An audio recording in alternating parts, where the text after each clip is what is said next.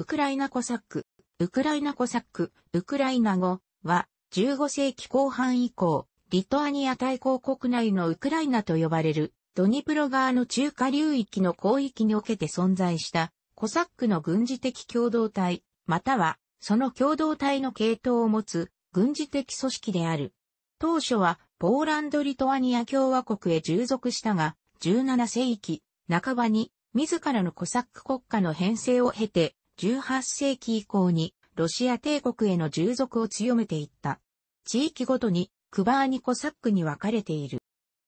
コサックという言葉は、軍、社会を離れたものという意味のトルコ語から来た言葉である。14世紀から15世紀には、キエフルーシ、キエフ大公国の死、豪族のうち、この地を支配したリトアニア大公国から貴族としての権利が認められなかった者が少なからずおり、その子孫を中心とする人々が、コサック団体として、ウクライナのステップ地帯で出現したとされる。領主への霊俗を嫌って、リトアニア・モスクワ領公国の南部の辺境へ逃亡してきた農民たちという起源説はあるが、文献等による証拠が不足している。コサックは漁業や海賊行為を営むため、ドニプロ川、ドン川の辺に住み着いた。このうち、ドン川に生活の拠点を置いたコサックは、ドンコサック軍を編成し、南ロシアから東ウクライナの一部に勢力圏を敷いた。ドンコサックは、後にロシアへの従属を強め、ロシアコサックの代表格となっていった。一方、ドニプロ川下流には、ドムイトロー・ビシュネベーチクイによってが建設された。これを拠点に編成されたコサック軍がで、その出自により、ポーランド・リトアニア共和国との関係が強かった。このザポロージャコサック軍が次第に勢力を強め、ウクライナコサックの代表的存在となっていった。ウクライナコサックでは、ロシアのコサック軍とは異なる階級や秩序が敷かれた。ロシアのコサック軍と共通するオタマーン色の他に、ウクライナコサックでは、ラーダによって選出される最高として、平地マンを置いた。ウクライナコサック第一のポリシーは、自由と平等で、これに反する者はその身分に関わらず、社会から追放された。16世紀から17世紀には、ウクライナコサックは神聖ローマ帝国とフランス王国の軍隊の傭兵としてヨーロッパでの戦争に活躍し、有力な軍事力となった。一方、1569年に発足した貴族共和国のポーランド・リトアニア共和国では、その3年前の1566年に、ウクライナ貴族の議決によりウクライナはリトアニア、対抗国からポーランド王国へと移りその諸権になった。そこでは登録コサックが、シュラフタ、共和国の貴族として、他のすべてのシュラフタと同様の権利を認められたが、その数と権利が限られていたため、ウクライナのシュラフタは、権利拡大の要求を掲げてしばしば、ロコシュと呼ばれる合法的な反乱を起こした。1625年に起こったポーランドコサック戦争、ポーランド・ウクライナ戦争とも、1630年のヘイチマン・タラース・フェドロービチ、トリャスイーロ率いるフェドロービチの放棄などである。共和国政府はこれらの反乱を重く見て、ウクライナコサックへの締め付けを強し、その過程で多くのコサックが生活に困る事態になっていった。1648年には、ヘイチマン・ボフダン・フメリニツキーの先導により、ウクライナコサックが、ポーランド・リトアニア共和国に対する大規模な反乱、フメリニツキーの乱を起こしたが、その反乱は、ロシアツァーリ国、モスクワ大公国を巻き込んで、ウクライナコサック解放戦争の様相を呈した。しかしながら、彼は、ウクライナの共和国からの自治権を勝ち取ったものの、その際に、モスクワ大公国に援助を申し出たため、それを逆手に取られその後長年にわたるロシアによるウクライナ支配を招いてしまった。それでも彼は19世紀に起こったウクライナ民族主義の下で解釈された現在は、ウクライナで一人の民族的英雄として扱われており、首都キエフには彼の銅像の立つ広場があり、道を走るバスにも、ボフダンのブランド名を持つものがある。また、彼の肖像はゴフリブニャ紙幣にも用いられている。1708年には大北方戦争中に、スウェーデンと同盟を結んだヘイチマン、イバン・マゼーパがロシアに対する反乱を起こしたが、一部のザポロージャコサックを除く多くのウクライナコサックマゼーパに背き、ロシア側に加担した。マゼーパは、ポルタバの戦いで致命的な敗北を喫し、戦いに敗れた多くのコサックが辿ったのと同じ道、トルコ領への逃亡を余儀なくされた。これが、ウクライナでコサックの起こした最後の大反乱となった。現在、マゼッパの肖像は、ウクライナの紙幣の肖像画の一つになっている、旧古いウニャ紙幣。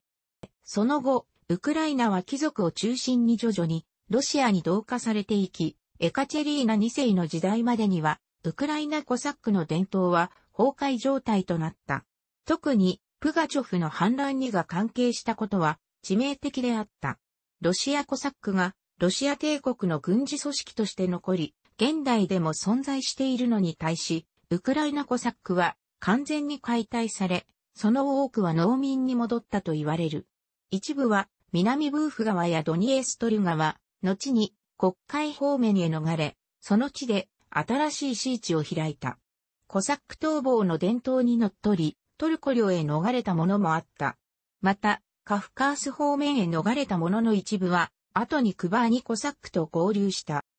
20世紀に入り、ウクライナコサックは再び歴史の表舞台に立った。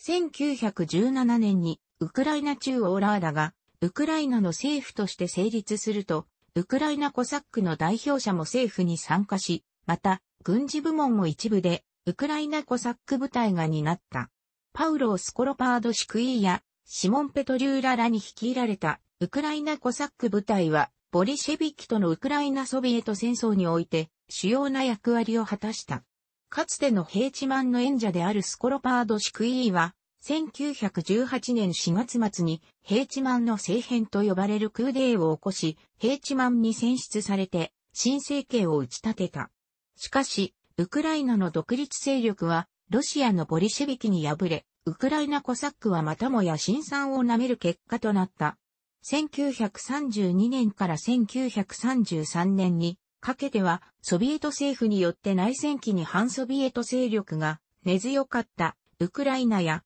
南ロシアを中心にホロドモールが起こされ、多くのウクライナ系住民、ウクライナコサックの子孫がその犠牲となった。1939年にカルパートウクライナが成立した際にも、コサックに藩を取ったカルパートシーチが開設された。第二次世界大戦ではウクライナ放棄軍によって反ソ連、反ポーランド運動が盛んに行われたが、その際にも、かつてのように、ウクライナコサック色が前面に出されることがあった。ソ連時代には、アニメや映画など文芸部門で、ウクライナコサックはしばしば取り上げられ、ウクライナ共和国国民から愛されるキャラクターとなっていった。ウクライナ独立後もその傾向は強まり、多くのウクライナ人にとって、ウクライナコサックのイメージは大切なものとなっている。一般に、コサックは、タタール人やトルコ人などの襲撃から国を守る役割を果たしたと言われる。逆に、タタール国家、クリミア半国やオスマン帝国に定期的に侵入して略奪も言った。リトアニア対抗国、ポーランドリトアニア共和国、モスクワ対抗国、ロシア帝国といったウクライナを領した国は平時にはコサックを主として南部国境地帯の守りにつかせていた。ウクライナコサックの軍隊の中心となったのは対タタール戦を重視した軽武装の騎兵隊であった。ザポロージエコサックではシーチ重兵隊が軍の中核を成した。16から18世紀、ウクライナコサックは何種類にも分類され、まず、平地マンが指揮する軍があり、次にザポロージャの軍、シーチ重兵隊があり、地域ごとのコサック連隊、スームイ、ハルキウ、オクチール及びオストロングが多数存在した。さらに、ウクライナ右岸、ポーランド・リトアニア共和国に所属のコサック部隊、クリーニがあった。平地マンが指揮する軍隊は主に、キエフ、ムイールホロド、プルイルークリ、ペレアースラウ、ニズヒュン、ハドヤッチ、ルブヤン、スタロドゥーブ、チェルニーヒュの登録コサックの連隊で構成され、さらに傭兵連隊もあった。各連隊の兵力は一定ではなく、400名から700名、連隊は100人単位で分割され、100人を支配する、長とスタルシナー、長老、そのスタッフは、オサブール1名、オボズヌイー1名、コルネット奏者1名などによる指揮を受けた。100人はいつかのクリーニを構成し、各クリーニは、クリーニの長が指揮を取った。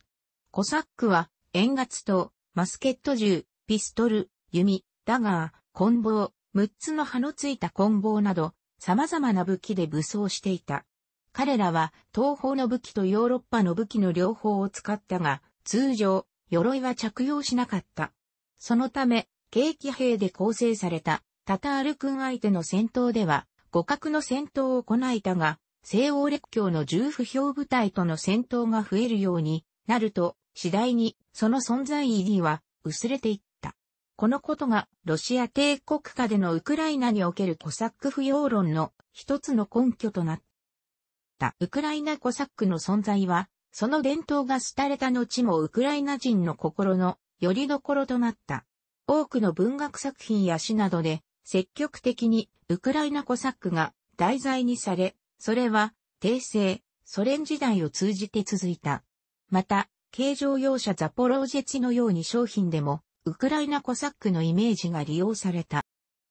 また、ウクライナが独立を目指す時代には、ウクライナコサックのイメージが必ずと言って良いほど用いられた。ロシア革命後のウクライナ内戦期には、ウクライナの反ボリシェビキ革命戦士は、ハイダマークを名乗った。また、ウクライナ中央ラーダの精鋭部隊は、シーチ重兵隊を名乗り、オーストリア・ハンガリー帝国下の西ウクライナで編された軍隊もウクライナ市一重兵隊を称した。ドイツ帝国の傀儡政権として成立したウクライナ国でもウクライナ国民への怪獣策としてウクライナコサックのイメージが大いに利用された。また、その終了はヘイチマンを名乗った。独立後のウクライナでも至るところでウクライナコサックがキャラクターとして用いられているのを目にすることができる。紙幣にも、ウクライナの初代大統領ミハイール・フルシェーフキーや、国民的詩人レイスやウクライン化に並んで二人のウクライナコサックが選ばれている。楽しくご覧になりましたら、購読と良いです。クリックしてください。